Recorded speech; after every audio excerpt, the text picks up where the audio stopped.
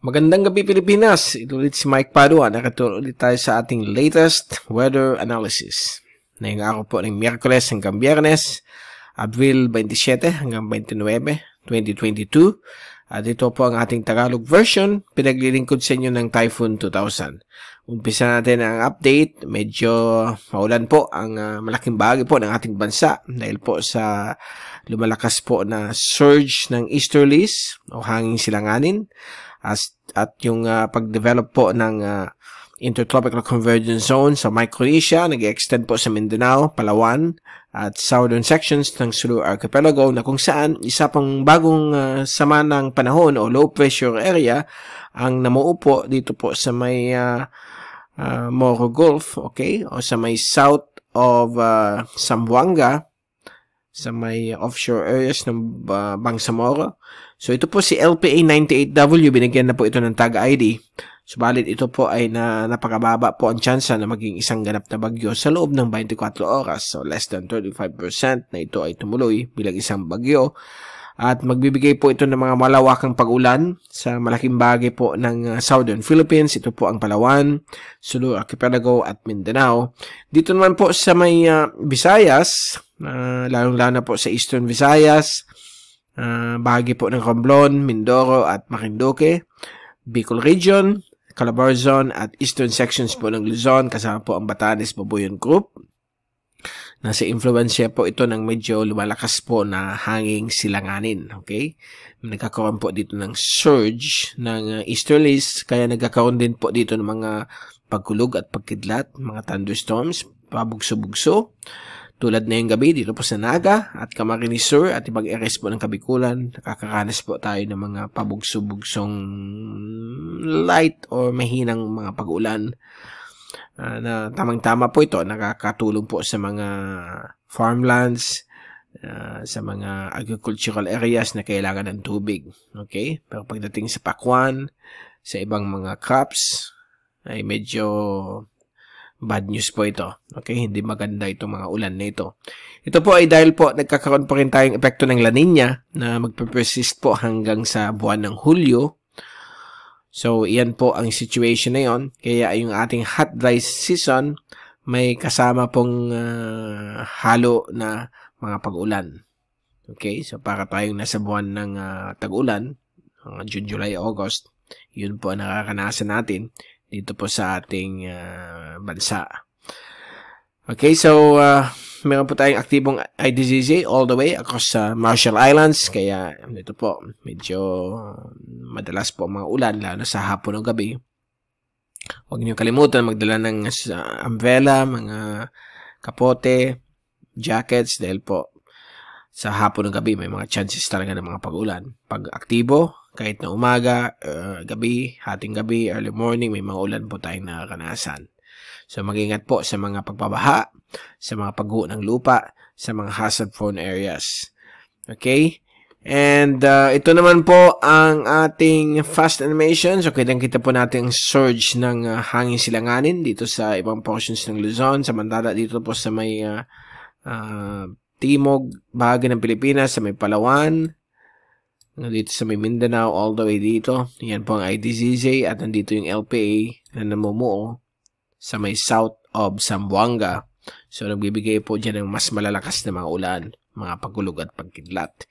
Ito po yung zoom in satellite animation. Nakita po ninyo mga dark red o dark maroon na kulay. Yan po yung mga malalakas na thunderstorms.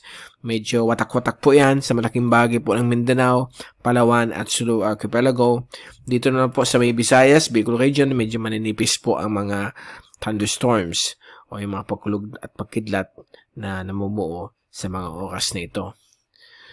At uh, ito po yung ating latest forecast mula sa European model uh, from the windy.com app.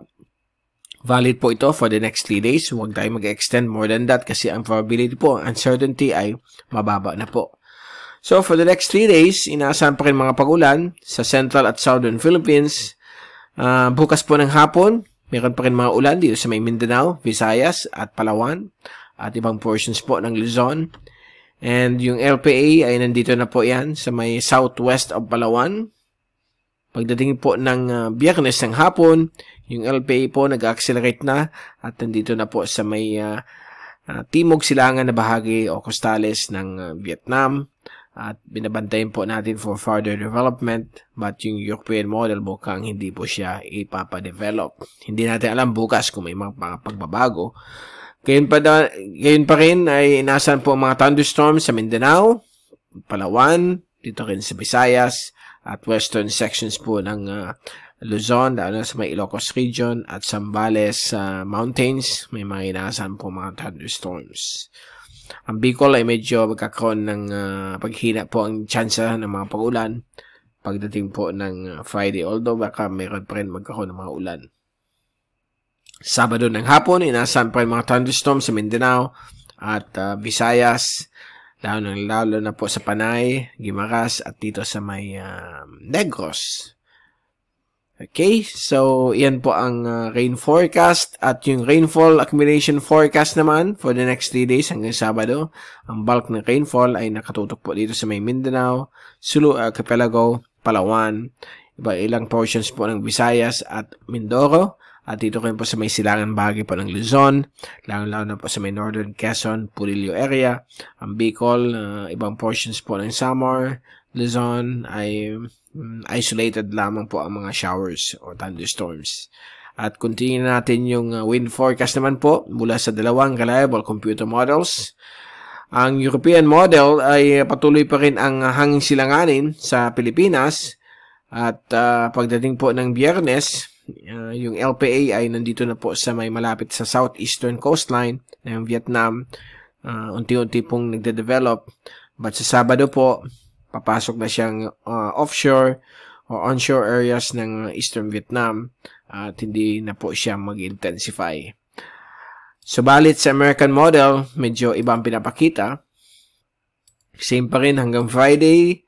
But yan po, magde-develop po yung LPA pagdating ng Sabado ay baka maging isang tropical depression malapit na malapit po sa eastern coastline ng Vietnam at wala naman po itong epekto sa ating bansa except for Kalayaan Island Group. And then, pagdating po ng uh, Sunday, although mababa na po ang probability, yan po, akit po siya dyan. Yan, lalakas. Tapos meron na naman po form dito sa Eastern Mindanao. So, medyo fantasy model po ito. I mean, uh, mababa ang probability, hindi sure kasi pagdating sa European model, walang pinapakita, you see. Hindi po nagpapakita na may development. So, habang walang pinapakita ang European model, medyo 50% or less ang probability na matutuloy yung binabanggit ng American model. That's the way it goes since for the past uh, decades, ganyan po lagi itong dalawang computer models.